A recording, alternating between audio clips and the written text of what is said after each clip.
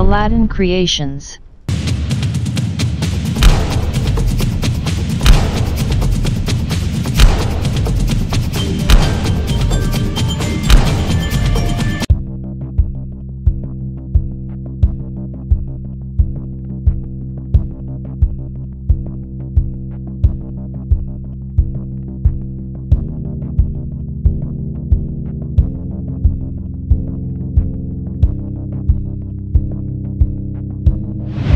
Hello friends, welcome to another question and answer type video of Aladdin Creations. My name is Kavindu. So today we have Hektoen enteric agar plate with two different type of characteristic colonies. The question was, can you guess the, these organisms? Anyway, this question I posted on my YouTube channel, community tab section, Facebook page as well as Instagram page a week ago.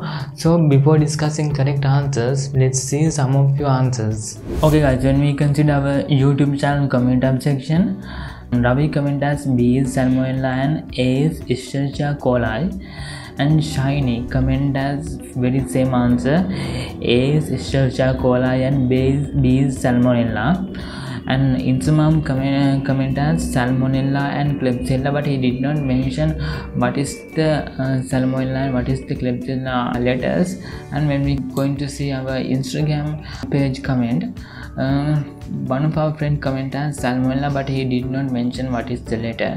And another comment is a is salmonella and b is escherichia coli and another our friend comment as b is salmonella and a is escherichia coli and uh, another comment we can see b is salmonella but he don't know what is the a. So you, uh, you can see almost all guys said salmonella escherichia coli or shigella. So guys let's see what is the correct answer. Question mentioned this culture media is Hektoen enteric agar Remember, this media usually used to isolate and differentiate Salmonella and Shigella species from other gram-negative enteric organisms. However, because of various color production, we can get idea about number of organisms. This media contains three sugar sources and sodium thiosulfate is as a source of sulfur. Ferric ammonium citrate is added to react with hydrogen sulfide and form a black precipitate.